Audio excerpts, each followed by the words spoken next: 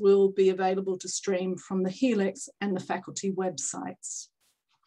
So um, without further ado, I will give the floor over to our speaker.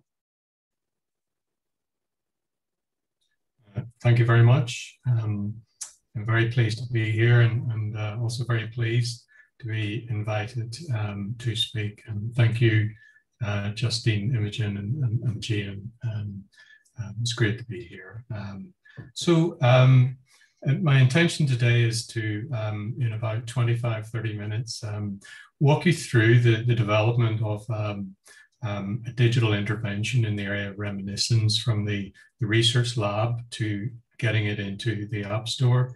And, and then really to have a, a, brief discussion about some of the issues, opportunities, um, uh, more questions and answers really in, in a, a small section on, on discussion. So um, um, this is not um, a presentation about um, AI and ethics. It's, it's, I have done those, um, um, and, and I know that uh, uh, the, the, the ethical aspect is very important and underpins everything here, but I'm not here to um, present uh, uh, implications and ethical considerations and, and, and so on. Um, this is very straightforward this is the kind of data that is generated and, and, and this is what it means. So um, at the start, uh, way back um, uh, seven, eight years ago, we got some funding for a, a, a study, quasi-experimental feasibility study um, on the efficacy of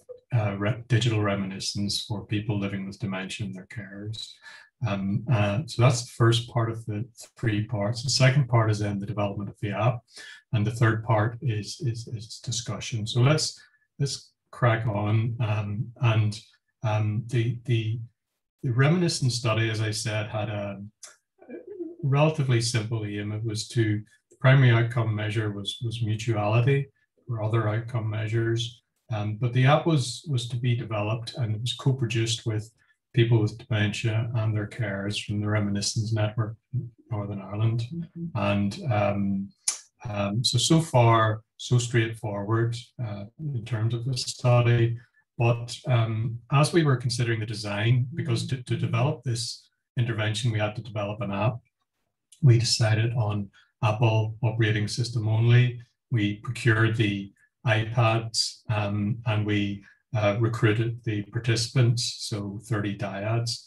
Uh, and in designing the actual app itself, we realized we had an opportunity and we revised the ethics to include the, um, the event uh, data, so the usage data as people interacted with these um, this digital intervention, this reminiscence app.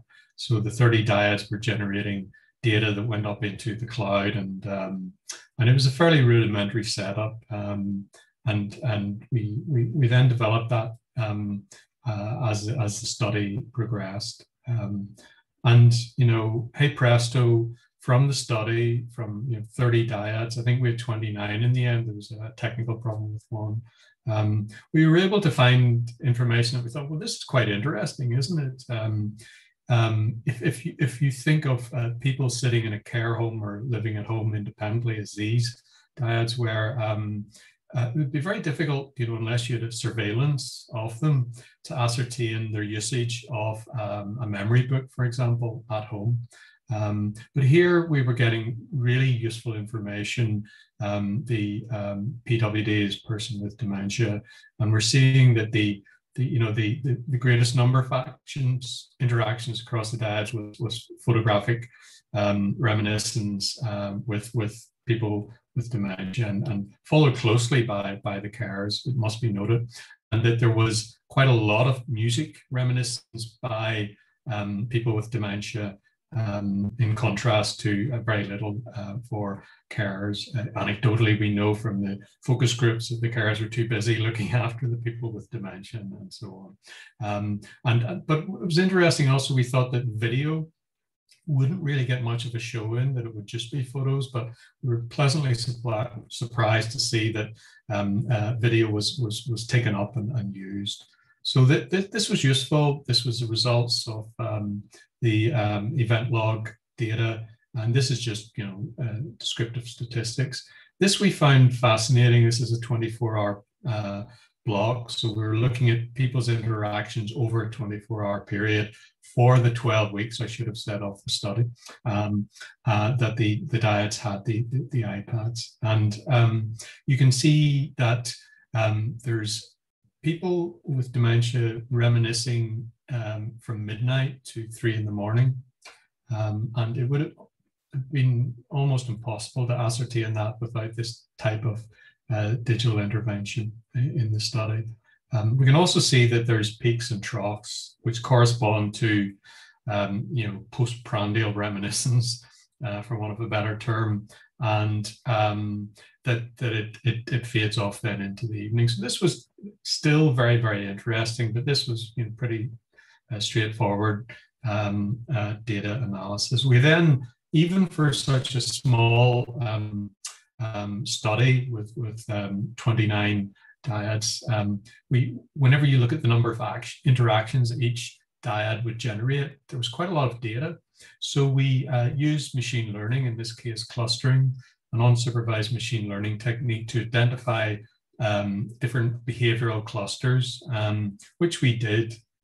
And I don't have time um, today to to look into that in more detail, but as in many of these slides, you can see at the bottom, there's a, the paper with, with uh, further detail and the, the DOI link. Um, and, and I'm sure that I don't mind these slides being, being circulated to the attendees. Um, so we were getting quite useful information. What we then did was label these clusters. So we, we, we, we were looking at them from another lens. Here we can see the, the box plots so there are five box plots here, uh, one for each variable that we used in the clustering. Um, so for example, we looked at the number, top left, number of uh, people with dementia interactions with the app. To the right of that, the number of care interactions with the app, and so on. So five different variables, and then the four clusters. Remember these.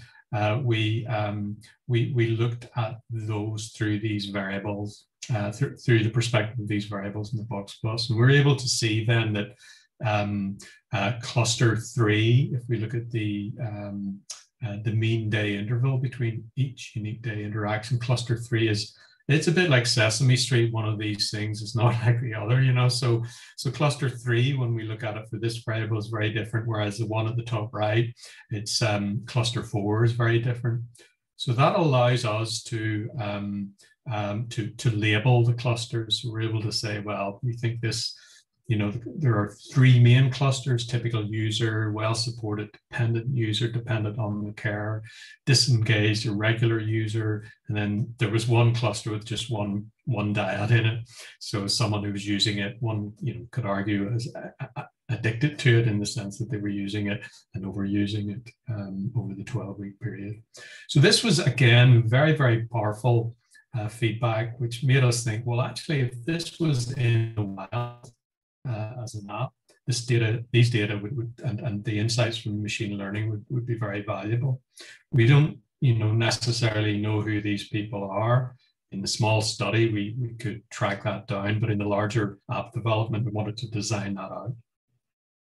Um, then also, um, we had some interesting discussions about, um, well, if we can you know, have a digital app with event logging, capturing usage in real time. Um, shouldn't we, you know, ask questions while the person's using it, which are, um, you know, experience sampling or ecological momentary assessment. So these ecologically valid uh, questions, and we selected um, the uh, uh, primary outcome scale um, as, as the basis and variations of that to ask. Um, so, so also we've shown as a side avenue that um, certain things like um, some of the uh, user experience assessment and user friendliness assessments that are used um, by systems designers require the participants to have a, a good recall, good memory recall, and um, and people with dementia didn't suit that. So it was another reason to ask them questions as they were in the moment, uh, rather than than, than uh, after the event. Um, so the mutuality scale questions that we asked, and, and these um, within the curly braces, we, we, we, we, inserted the, the partner's name and, and so on. So it might say, how attached are you uh, to Joseph and, and, and so on and so forth. Um, so as well as, as having these scales, the quant scales, primary outcome measure scales being asked um, at the start, mid and end point of the 12 week period and focus groups um, uh, as well in those periods. Uh, we had the event logging and then we had the uh, outcome scale questions being asked um, uh, as the people used the devices. Um, so that, that was very interesting. It brought us up to something that we had never thought about before. Well, how do we how do we do that? Um, um what kind of logic do we put in place um, that we can ask a question? So you know you, you you have to you have to think this through and then engineer it into the system. And it's sometimes not that easy. So i think we've all experienced app usage where it asks you to recommend it or or whatever. Um, and you know there, there's a, a pester angle here. You certainly don't want to be asked the the question asked a, one of these questions you know at a frequency of one every minute for 10 minutes when you're trying to reminisce. Um, but it should be while you're reminiscing uh, and so on. So we, we, we, had to think through a logic here and, and then later in the, in the uh, um, and, and, then of course we, we then had this metadata about how people answered the EMA questions. Um, so we, we, had an overall dismissal rate um, of 30%. So again, we were quite surprised here. Um, these were certainly not digital natives. They were using the app um, usually you know in the study on, on their lap on an iPad. Um, yet when presented with the question, you know, 70% of the time overall, they, they answered it, um, which was, you know, uh, reassuring. Um, these weren't resisting or abstaining from interactions at the, this cohort. Um, the um, people living with dementia used the app more than the carers in the trial period, but had a lower dismissal rate uh, than the carers. So um, maybe it's just to do with the the the, the disease. Um, uh, we, we don't know, um, but it, it was it was it was promising um, and and and useful, um, which gave us um, impetus to continue with this. just some detail here on, on the left, we're seeing the uh, for carers and, and person with dementia, the the times that they were presented, and you know you've seen something similar to this earlier. So um, it's really a function of them using the app, and they use the app in between meals and so on, and more in daytime. And um, and on the right hand side, you see the uh, it sliced up week by week. Um, so um, useful, um, good takeaway from that. Um, so the design recommendations that we got from that, um, taking that forward, and we, we thought about these more broadly for digital apps, um, that we, we should co-produce those, you know, with, with users, um, and that um, we shouldn't engage in putting up these, in essence, kind of pop-up questions until after um, several weeks have gone past and the people had settled into using it. don't don't present more than one per day. Um, and um, we, we knew when the dismissal rate was lowest when people were presented, and that was 8 p.m. in the evening for this app. So, you know, that's quite a good time. Um, um, so this gets us into the, have a, a, slide with bullet point on it later, ethical gamification, you know, so is this ethical to do this? Um, and um, we, we can talk about that at the end of the discussion. Um, so, and if the user's in the middle of doing something like uploading a Daniel O'Donnell video or whatever, uh, breaking copyright, of course, then you know um, you shouldn't interrupt that with with putting a question. It should just be when they're reminiscing. So that's us speeding into the um, the second part of the presentation, which is um, after we um, presented our final report from the study, which was led by Professor Assumpta Ryan, the uh, professor of nursing in Ulster University, and a, an interdisciplinary team, including psychology, computing, nursing, and, and so on. And um, we were then funded by the Department of Health in Northern Ireland to um, to um, uh, procure the development of an app from a software company. And the resulting app, to cut a long story short, is, is the Inspired app. This is your life, your story, your app. And for those are interested, they can go and, and look at that, that um, the web page for it, which is links to the App Store for, for downloading it. And it has its own little Twitter account. Um, so this is now the um, moving on from the study. This is now the app. Um, the EMA questions we ask in the app, they're, they're in three types. The last one is, is about reminiscing. The, the middle one is um, how you feel. So we're quite interested really in, in person's feeling when they're reminiscing. Um, and then the top one was, you know, how much are you enjoying reminiscing today? So those are the types of questions that we then present and with different frequency of presentation design for those and, and so on. So the you know, the, the, the learning that went into that was, was from the study and helped us an awful lot as to do the logic and so on. This is what the app looks like, uh, photos, sounds, videos, and you can create albums. And here's one I did from my running around Northern Ireland last summer in the lockdown um, and, and in the west of Ireland as well. So you, you get an idea and then you can browse through your album. It doesn't have to be photographs, it can be video and um, and uh, music, for example, and, and um, they can be mixed up. Um, so the data then that underpins all of this here, and this is made up data, but this this is the, the, the fields, these are the fields that are collected. So whenever people register to use the app, they, um, they're asked for their name and um, um, they're, they're asked for a contact email address. This is not for us as researchers, but this is for the app company so that it can send them market marketing information, remind them about updates or whatever. Um, and then the, the other kind of data that are recorded here, we're seeing that uh, when people onboard onto the app, there's a unique ID given. They're asked for their gender. They don't have to give that. They're asked for their age. They don't have to give that.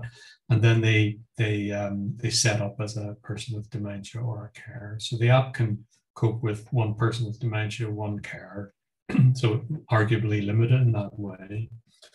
Um, and here you see the kind of log that then would be generated that you saw the, the, the, graphics from earlier as a result of that. So this unique user is viewing a personal photo on this date and this time. And of course, if they're viewing another personal photo at that date, but 30 seconds later, we can analyze and, and, find out that, well, they looked at this for 30 seconds. So you, you can derive information from the, the event log data and, and also EMA questions can be put up. And then the, um, the next table, the bottom table there is the question, the EMA questions presented and uh, the response, you know, whether they dismissed it or uh, added a great deal. So the, the architecture for this is quite complex and difficult because we wanted to do it at a low cost way, but we wanted it to be um, um, certainly not prone to failure and, and, and um, uh, going uh, crashing and, and so on. We wanted to be as um, uh, resilient to you know problems and, and so on. So the um, the name and email data goes to a, a different data store um, the event logs and the EMA data, all the other tables that you saw me walk through, go to a Google Firebase um, repository, which is then interfaced from Google BigQuery. And if it sounds complicated, it is, um, but it, it, it works. Um, and um, and here, um, this is just hot off the press by one of my final year undergrad students where he has pulled the data out for six weeks of the In the Wild app, um, looking over the 24 hour period. And you get the same kind of not much activity at night, naturally, and, and, um, uh, and then um, peaks and troughs to do with meal times. Uh, you know, there's maybe 150 users making this up. So um, it's it's early days yet, but I just thought I'd give you a flavor. And you know, there's what the on the left hand side. Um, uh, there's um, sorry, that's the wrong graph. Bear with me, but you, you saw that the uh, the information peaking and troughing before. so we now have the app out in the wild. We have um, ORCHA, um, which is a UK uh, company, um, private company that's been contracted by the NHS um, to verify apps, curate them, uh, to allow them into the digital um, uh, app library for the NHS. And um, people have different views on this, um, but it's worked for us. we got a high score of 78 or whatever, which meant we were allowed into the library. Um, the Department of Health then is, has its own website portal where you can search for um, our apps um, and, and other apps that are available anyway. You don't have to go through here, but the idea is that a, a memory clinic um, um, health professional can socially prescribe um, inspired using this and the, the email address of the care, for example. Um, so quite an interesting mode of usage there. So I've whizzed through that and, you know, I, am aware that um, Jane has graced me with another five minutes of, of um, six minutes of time. Um, and so moving on, and apologies if, if you feel if, if, if I have gone too fast or whatever.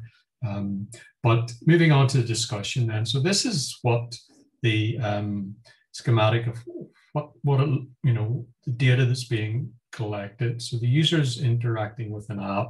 There's some back and forth there. The, the data is personal data, which is going to the app development company. The event log data and the EMA data is going up into the cloud. And then it's coming to us as a, the research organization. And then we're doing machine learning with it. And then we're going to publish papers and so on. And that's fine. If we look at a, another example, TalkLife is a curated um, online anonymous chat um, with hundreds of thousands of users worldwide. I was talking to the um, the uh, creator uh, behind it uh, last week, um, and if we look at it, it's it, it's different. You know, ignore it, it may not have it, it has event log data, it has personal data, it has you know um, uh, chat data primarily, which all goes up into the cloud. And then the TalkLife itself, the app company, have a different business model where they allow uh, organizations like Harvard or um, um, uh, University of, Carver, of, of, Cardiff, for example, as research organizations to get access to that data, which is especially granted on request or not. And then the research organizations can, can uh, analyze that. So, you know, think about this or this, and, and these are these are quite odd. What would these look like if the NHS itself commissioned these? You know, would the data ever make it out to the research organizations. What about Babylon um, Health? Um, what would its diagram look like here? Um, uh, you know, here, you know, we're hoping that the data is democratized, we're respecting people's rights. We don't know who the people are that can um, uh, consent to reveal their gender and age or not. Uh, but if we have that, we can put that into the machine learning. And our, our, our hope is that then that will you know, the research will, will help inform policy and practice for the NHS. Um, and, and, you know, one can think that that's what Google and Babylon are, are going to do, or one can think otherwise. Um, or, you know, you have um, um, TalkLife, which is more a variant of, of Inspired here, uh, which seems to, you know, help different number of research organizations to interact. So so, so that's the architecture. That, that's where the data flows are going. Um, just some concept concepts here, just to you know to, to put them out there. You know, we, we do know about things like data in the wild. So there are all kinds of data out there. Um, data in the wild think you know Twitter data or Facebook data or you know, people applying machine learning uh, image analysis algorithms to smiley faces on Instagram and working out people in Northern Ireland are happiest because they smile more than people from Norfolk or something like that. So this kind of found data.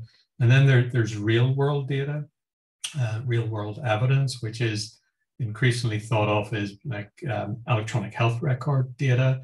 Um, uh, so it's not data that has been specifically designed in a study um, or to be collected in a study or whatever, but, but it's very valuable. Um, and we've mentioned EMA already. Um, dynamic consent generates um, lots of data. It would be very interesting to analyze um, the degree to which people choose to opt in or opt out of if they can and if it's easy to do um, uh, of of app uh, of consenting for their data to be collected. Of course, it's a nightmare for for us as researchers because it, it means we may have to you know close off um, that user ID and not use it at all. But um, you know that, that that's you know that, that's fine. Um, I mentioned ethical gamification is increasing growth in, in people talking about, especially in mental health apps for young people and so on, the gamification of the interaction to you know, to engender uh, usage and and um, um, and, and non-abandonment of the uh, interaction, the digital interaction. And um, I had a quick look um, last week when we were talking about this. Is there much work on so-called ethical gamification? Because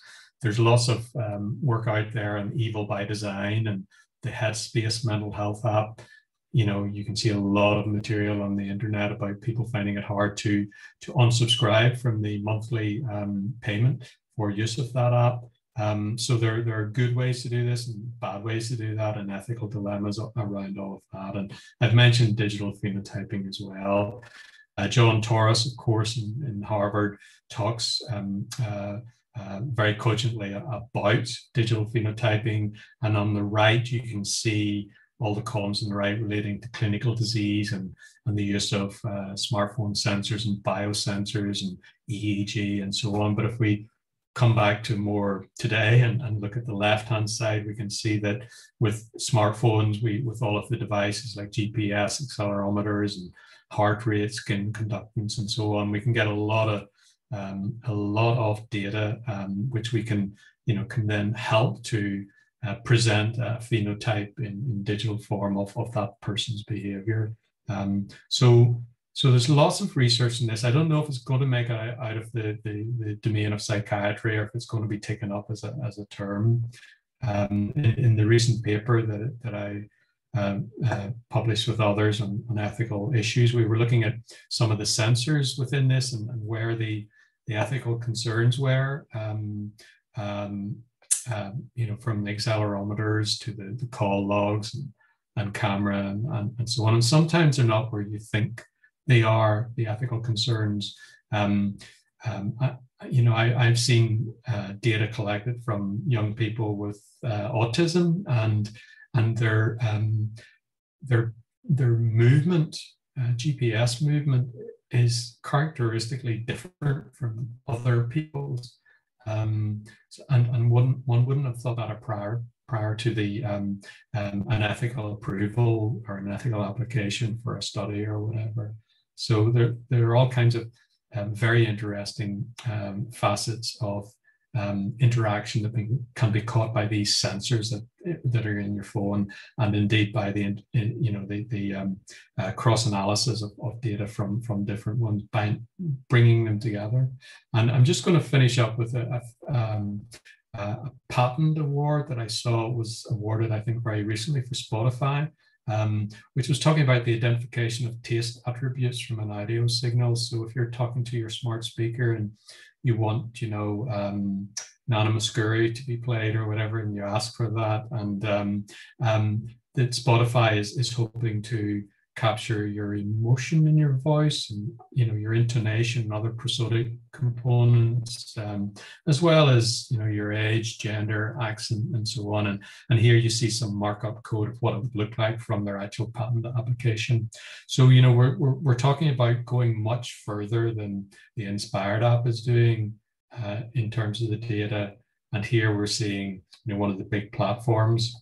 And i think this is the way it is going to go that um, you know, um, secondary data that we're not aware of is um, is going to be of tremendous value to these platforms and and um, you know um, and also what if you know what if it determines that the emotion is despair uh, and it's 0.9 um, you know should it do something about that? Um, so um, some of the points then that relate to data and digital health we're not going to have, um, and most of my work here is in mental health services and digital mental health services and thinking about blending of services. So we need to work out how, how we work with face-to-face services and digital and the blending of those and the data from those. And COVID has been you know, um, very interesting because we're seeing a lot of organizations such as in Northern Ireland um, offering counselling services and all moving 100% online um, um, and offering the opportunity for better data and insights and so on and management of the service, but but uh, issues as well.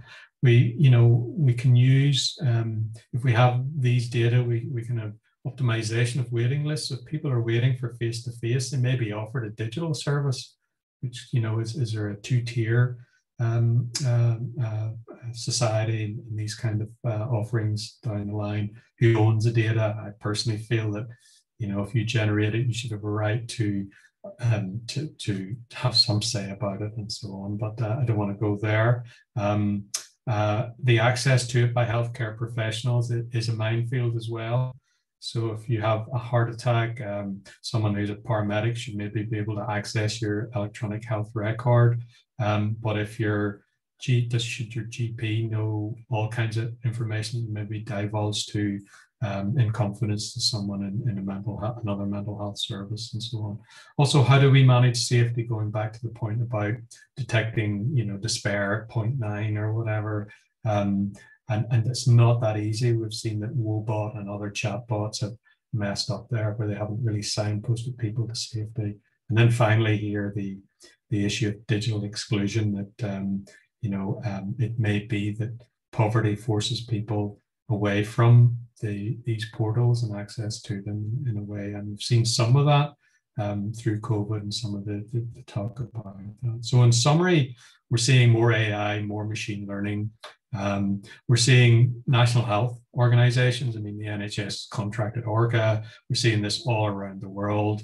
Um, you know, in a way, it's many private organizations are are, are making hay in, in this area as well. Um, but people like it as well. People like apps, like self-management, um, and uh, you know they like their Strava telling them certain things. They like um, their Headspace telling them certain things, and so on, and, and that helps them reflect and have insights. Um, so, you know, it's more or less a good thing. Logging user interactions is maybe an incredibly naive statement, does allow for greater insights into their needs. Um, and, you know, I always thought that, you know, it shouldn't just be, you know, Amazon doing personalization. It should be the NHS, you know, doing it in an ethical way. Um, but how do we do that? The risks are, are very difficult. And um, I think, you know, the, the you know, the public uh, health services. Um, you know, I think on balance can be argued that they benefit. So there's, you know, it's a, a lower cost way for data to be gathered, and and um, and we know that you know healthcare is very expensive. And it can allow new ways for digital epidemiological analyses and provide data to inform health policies. I think that's broken at the minute. Um, or everything's taken on a, on a one-off basis. Um, just looking at the COVID app usage data, it's not really that democratically available. Um, public health organizations can and do promote health apps. We know that, inspired an example. And, you know, digital phenotyping analysis does offer benefits and it can be taken up by these organizations. However, we do need clear guidelines and the difficulty really is, and I'd love to hear um, questions and answers from you this evening. The difficulty is, um, you know, the ownership of the data, uh, secondary data, anonymous data, anonymized data, and information derived from these data. How can it and should it be used? So thank you very much, and apologies for taking so long. Thank you. Thank you, Maurice. That was fantastic talk. And I think it just uh, sent my brain whirling in terms of kind of the questions that um, uh, people must have for you and that I have. Um, could we go back to uh, the view of um, all of our audience? Um, I, I was particularly interested, and um, please, please put um, your hand up or put your um, questions in in the chat. Um, so I just had a question for you, and it was really about um, this relationship um, around data and data ownership, and the fact that you you went you're a professor of computer science, but you still go and get a company to develop an app because obviously that's the way that you get, you know, enterprise ready um, app that lots of people can use. But it's this relationship between researchers, a national health services, a service and companies, and the fact that you do need to go to companies. And while you have a very ethical framework in terms of how, which data goes where, um, we know that actually all of the apps that we use, and I feel as if I've got hundreds on my phone, um, have different basic service agreements. And, and so we, we really do have to manage that relationship, don't we? Um, but I was just wondering, you know, what do you think as um, someone who's involved, what, what would be the ideal way to it? Obviously, obviously we have, um, you know, uh, ORCHA, but are there other other organize sorry ORCHA other organizations that actually um, might be able to do that back end work? Um, yeah, I think the state of the art is is your own work on dynamic consent, Jane. Um, and, and I'm not just saying that. Um, I, oh yeah, I mean we, we didn't we didn't all we didn't uh, rehearse this in any way. no, no, no, we didn't. Um, ORCHA is is very interesting, but it seems to be um, it's doing good stuff. So it says that you shouldn't um, that the app has to be usable, that it has to have its um, uh, data use policies defined in, in a certain way and so on. Um, but it does allow an app, for example, uh, designed for people with dementia to have in-app purchases, which seems to me to be rather um, strange, one could argue. Um, um, and um, it, it, in terms of, the, it's more the usability than the, the, the consenting and the um, um, educating the user to the use of the data uh, arising from them consenting. We all know that you download an app and you may you just you know some some of the consenting may make you scroll down to the bottom before you accept. Um, some of them allow you to get it to be emailed to you. So some of them make it easy for you to you know to check it offline but most of them don't.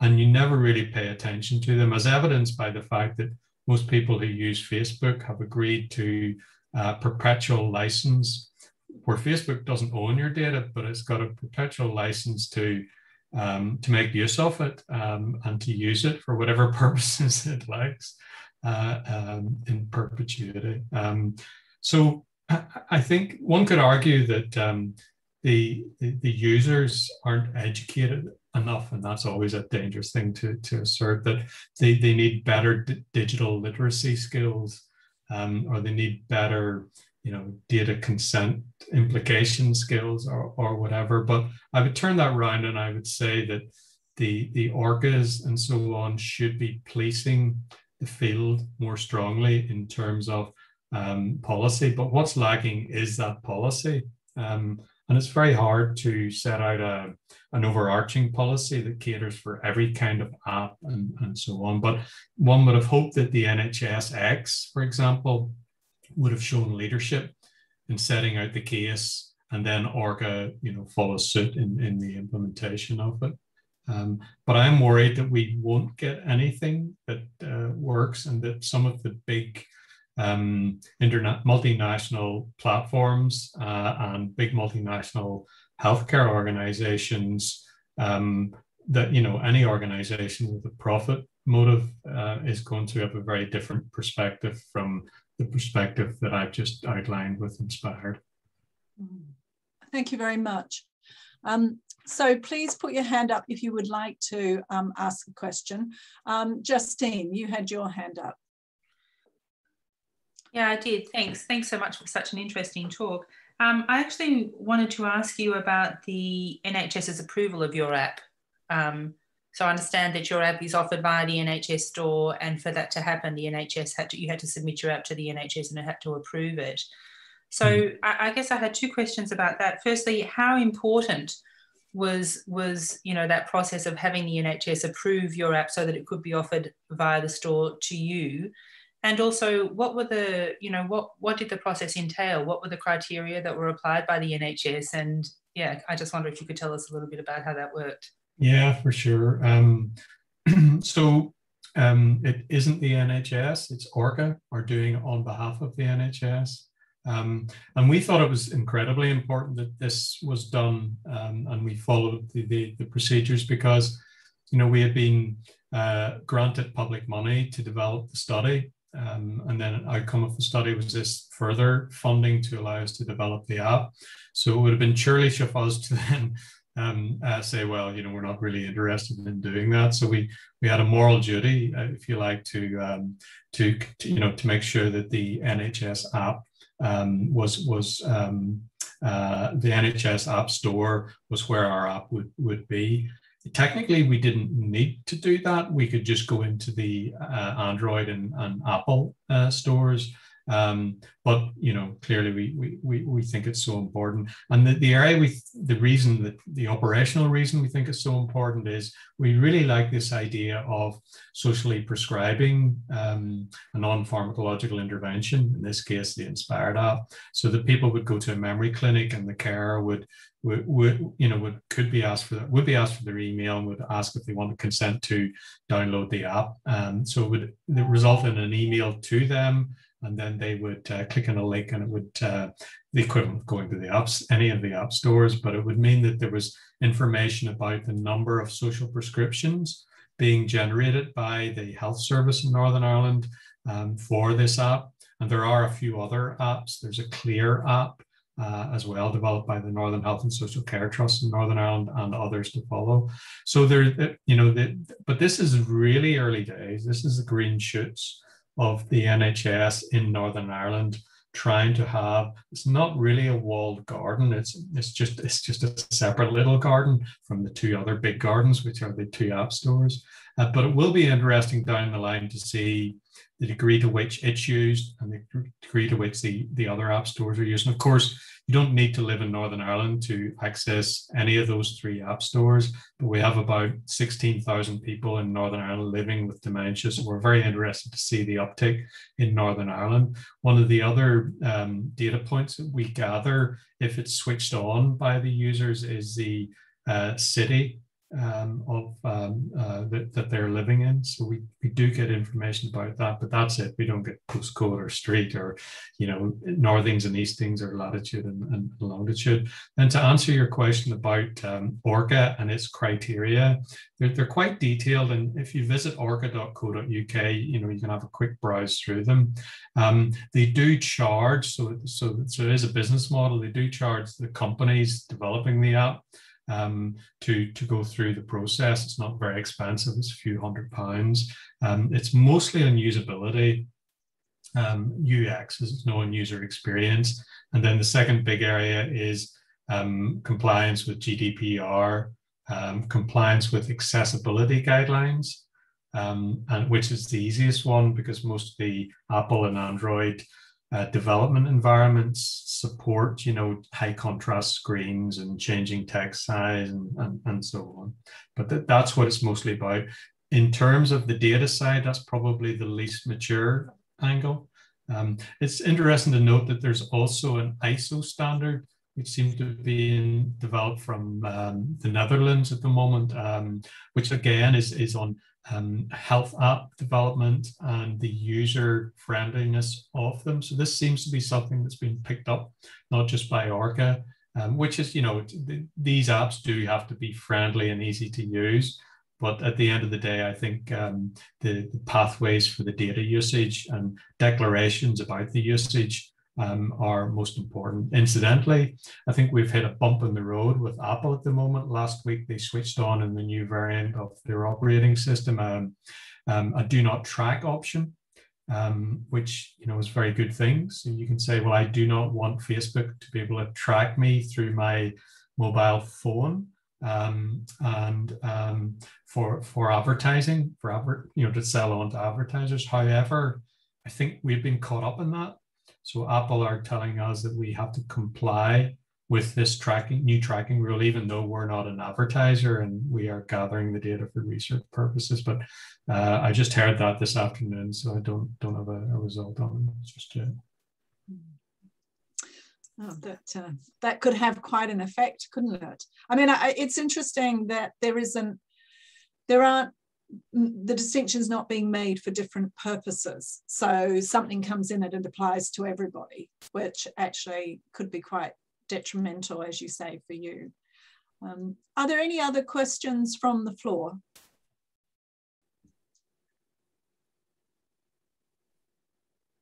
No questions? So um, I, I will then continue a conversation with you. Um, uh, one of the things that I thought was um, quite interesting was how much this data actually could tell you about people. So all of the metadata, and I was thinking particularly when you were talking about um, when people were using the app, but also the fact that um, there are different types of movement and use of a phone for um, people with autism, for instance. And, and this whole movement to being able to use all of these indicators, um, which are part of the digital phenotype, to actually give insights that could have a clinical application, but also could have a commercial application. And I think I, I, we do know that people are, are desperately concerned about how their data is used by commercial bodies. But the fact that this digital data is starting to be recognized as having great value and really to put us in a position where um, other people know more about us than we know about ourselves. And so I was just wondering if, if you had any thoughts about that.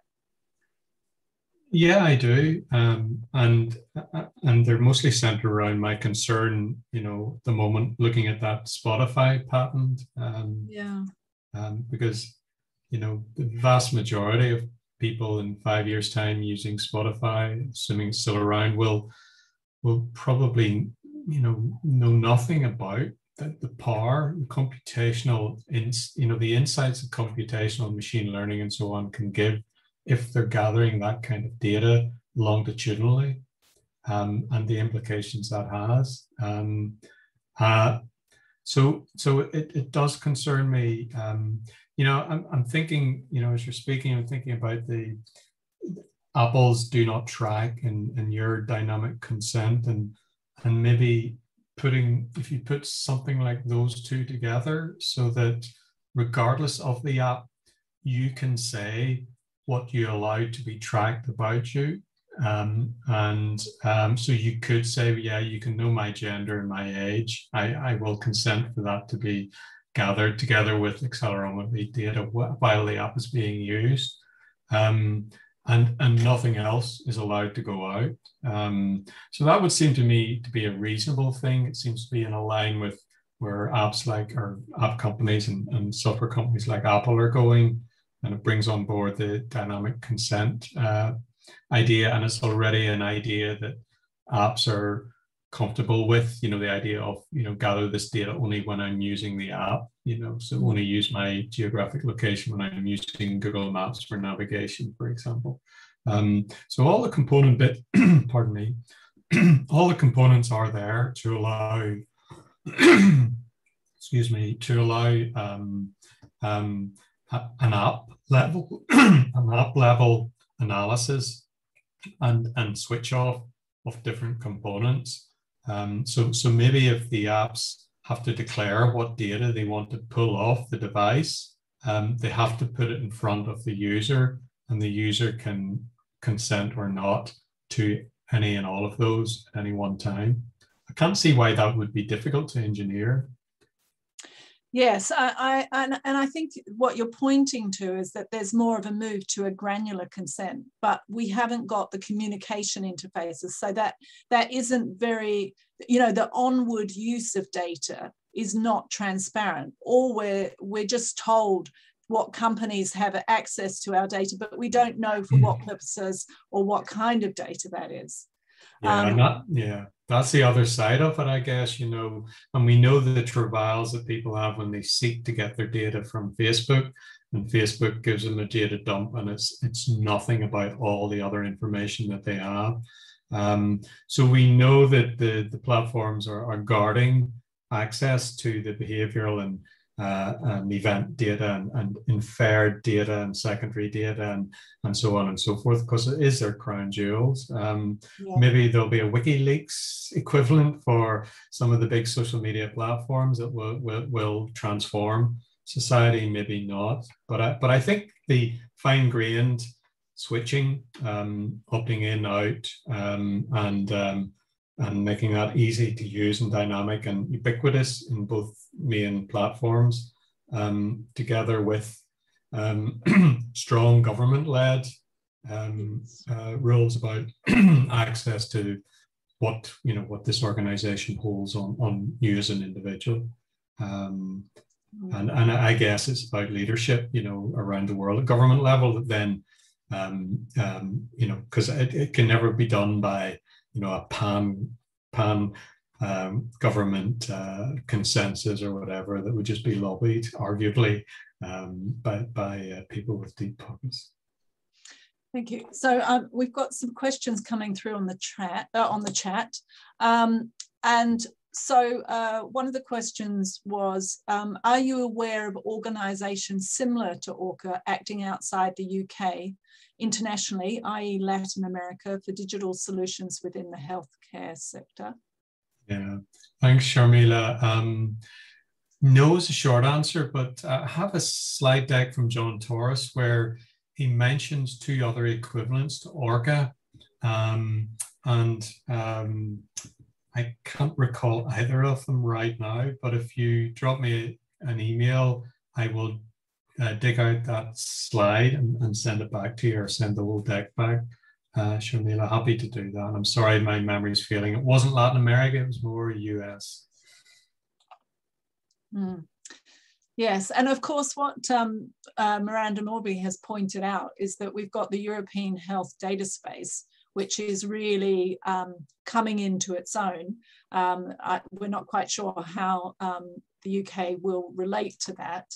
But that the, the intention there is uh, to really have a repository of data that can be used for a range of social purposes. And it will be very interesting to see what the, um, the data uh, pathways are with that. And as you pointed out, the ownership over the data, who has access um, to the data and how much citizens are told about the use of that data. Um, and, and so there is a, a joint um, uh, member state action which will be looking at those issues around the European health data space. Um, but I'm not sure how much they're actually looking at uh, the regulatory aspects. I know that they're doing quite a lot on um, citizens' perspectives. So uh, Sharmila's um, question is also very relevant for the European data health space, European health data space even. Yeah. Um, and, and but but but but so much of the data that, that is generated on our devices and our sensors and our smartphones is is not specifically health. Um, um, you know, so I've seen a lot of um, discussions about um, electronic health record perspectives. And a lot of the providers of these solutions, you know, obviously they're interested in selling more of those, and everything's couched in the terms of uh, an electronic health record. Um, and and and and that's I don't think that's it. Um, uh, so we need something that's, that that manages to square the circle of catering for the user's data, whatever that those data are, with you know, whatever the health provider that you pay your taxes to support, you know, should store uh, relating to your health. Um, so I'm just looking at the European health data space. It's very interesting, um, but I think I'd heard of it before, but um, uh, but not more recently. I think Brexit made me not look at these things for a while. it's the same for all of us, really, isn't it? Um, I think what's interesting also when we think about, you know, there's been so much work put into how we can analyze what's written in, um, you know, electronic medical records and, and how do we take those paper records and those squiggles by doctors and turn them into something that we can actually understand. But really, when you think about it, it's it's more of the um, the the apps it's the devices that are you know it's our smartphones that are actually more indicative of our health status than what go what we present to um, healthcare professionals because that's usually that's when we're experiencing um, disease. So we've already got symptoms rather than um, being more of a preventative um, space. And so i think you know it's i think we're sort of going through quite a lot of transitions in terms of health and um, and what's happening. Um, thank you. Mimi did you have a question? Sorry i think my chat was covering your hi. Um, thank you so much. Um, it's a great talk um, i have one more question about um, consent. Thinking mostly about our end user here who are patients or people with dementia.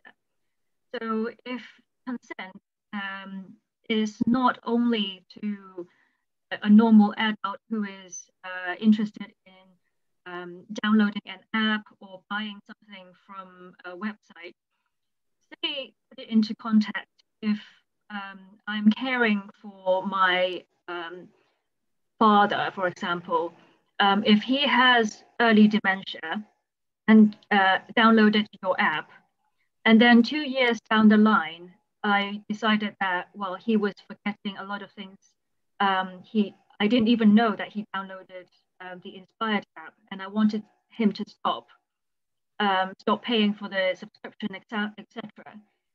Does the legal framework or this kind of terms and condition in the app allow someone to step in um, to stop this consent? Because the basically our consumer are, are quite different from anyone else who are using apps. Um, but these people are kind of maybe mentally um, incapacitated. Yeah, well, we do have the Mental Capacity Act, um, and, and it's a really interesting area. I think it's quite a difficult area. Um, um, Occam's razor would, would just say that, you know, um, you know, it, you know, the consent can be withdrawn on behalf of um, the, the, the, person living with dementia. It's, it's, it's beneficial to them, um, but I appreciate it's difficult. Um, um, it's difficult in real life, and it's not going to be any easier in the digital world, I would think. Well, I think, um, thank you very much, uh.